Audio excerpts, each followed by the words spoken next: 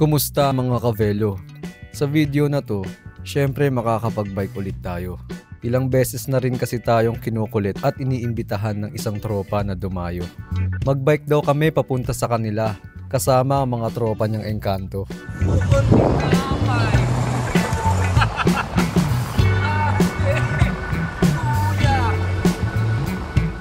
Pero dahil sa kakulangan sa kondisyon at ensayo, ang pagsama ko sa ride na to ay medyo diskumpiyado. Lalo na yung dadaanan naming ruta ay hindi ko gaanong kabisado. Sayang, hindi nakasama yung tropa naming si Castillo. Ang kauna-unahang tao na nag-introduce ng sando kay Bonifacio.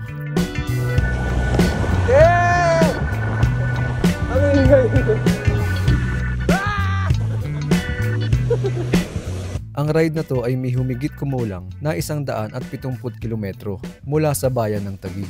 Halos ikutin na nga namin ang buong probinsya ng Cavite. Idagdag mo lang ang ilang mga bayan sa may Carmona at Ternate. At may mas mahirap na version pa daw tong ruta na to. Pero para sa akin, hindi na bale. Wala, umulit yung ano ko, Strava ko. Okay lang, wala ka na pinapatunayan. Oo.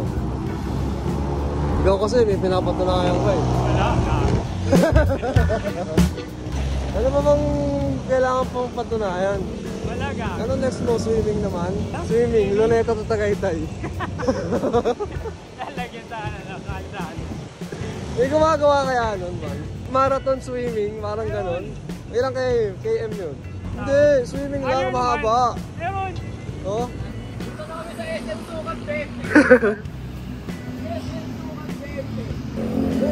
dyan, puro ano, malulupit yung pizza dyan.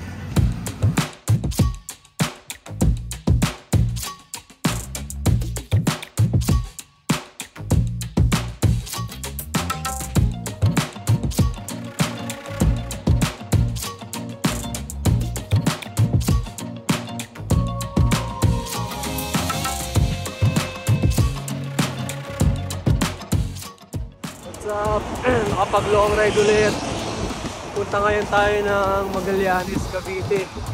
Grabe. Hindi tayo makasabay sa pacing nila. 20-20 na lang yung takbo natin ngayon. Pero okay lang. Ang mahalaga ma-enjoy natin yung ride. Tsaka nakapag-ride tayo. And syempre, safe lang.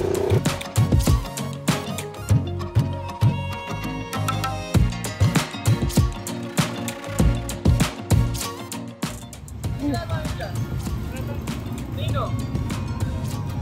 Alam hindi, hindi, alam mo naman ako, di ba? Pera lang yun. No? Eh, nakita ko lang, gumaganan-ganan yung 500 eh. Pagpulot ko, dun siya galing eh. Ano niya daw? Hindi, sige sa'yo na. Oh.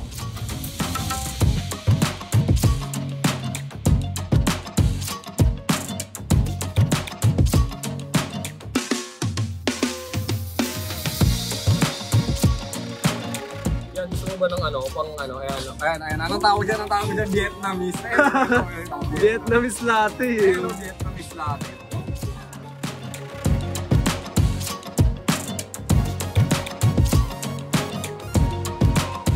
Nabitin ako eh.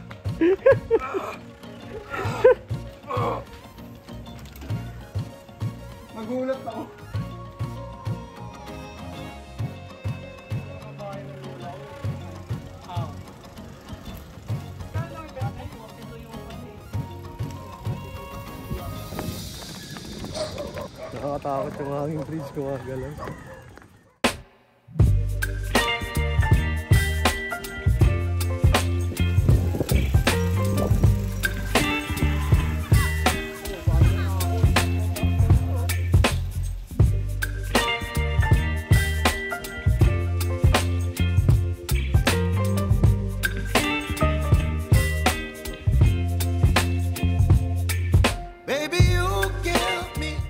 Sa mga oras na to, hindi ko na alam kung saan ba kami dinadala ng aming bisikleta. Naging lubak bigla yung daanan, parang durog na puto seko na binibenta sa mga bangketa. Sabi nila, puntahan daw namin ang dambana ni Andres, yung kaalyado ng ribultong nakatayo sa may luneta. Pero para sa akin, wala namang problema as long as lalabas kami sa lugar na to nang sama-sama.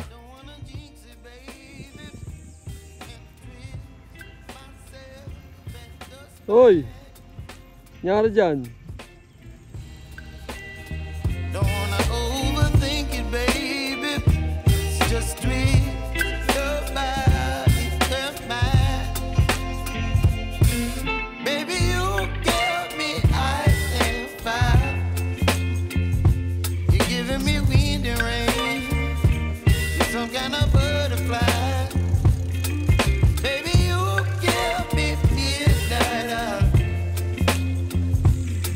Up my appetite.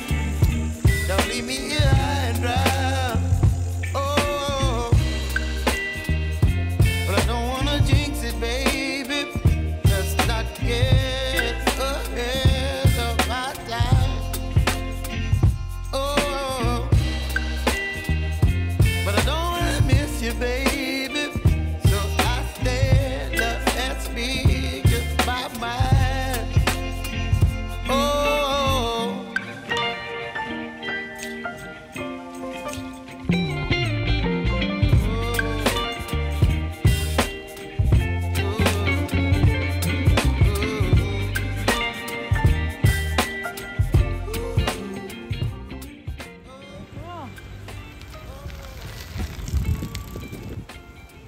Napakakunat dito.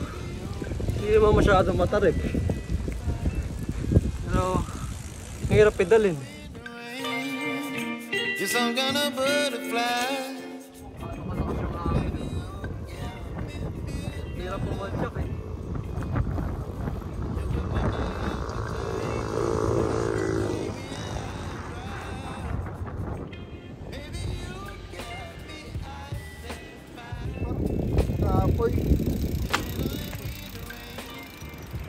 Siyempre, pagkatapos ng mahaba-habang ahonan, ay nakarating din kami sa aming pupuntahan.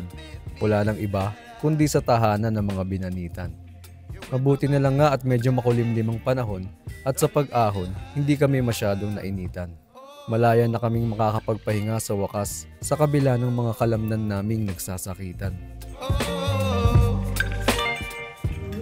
May birthday ah. Ano yan?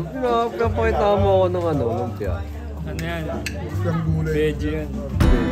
Siya nga pala si Sanshen, anak ni Mang Sani at Aling Minda. Pangalawa sa mga magkakapatid, dating mahilig sa pagkaing mamantika. Malakas siyang tumakbo at sumipa, kaya naman di nakataka-taka kung bakit nangunguna siya sa puso ni Patricia. Kagaya ko, noong pandemya lang din daw siya nagsimula maging siklista. Kwento niya, pangarap niya raw magbike mula Bataan hanggang Indonesia. Birthday niya kasi, kaya napilitan kaming maging bisita. Ipagdiwang daw namin ang kaarawan niya, kahit tapos na. Buti na lang maraming nakahain ng masasarap na pagkain sa lamesa. Yung pagod na dala ng ride, napalitan ng ligaya. Sabi niya sa akin, hiniling daw niya na tumangkad pa siya ng dalawang talampakan.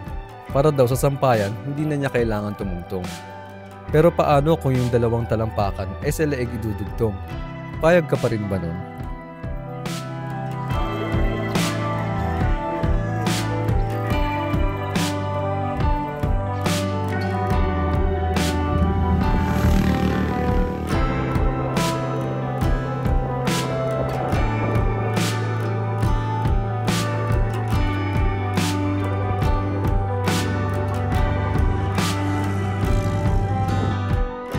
Maaaring madalang na tayong makabalik sa mga ganitong klaseng eksena.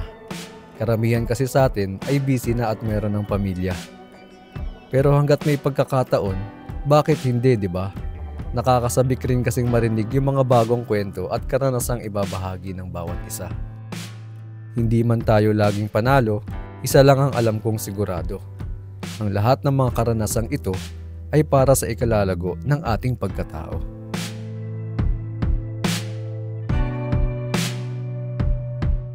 Kaya kung nagustuhan mo ang video na to, please give this video a thumbs up and if you want to see more videos ay mag-subscribe ka na rin. Maraming salamat mga kavelo. Ride safe sa lahat.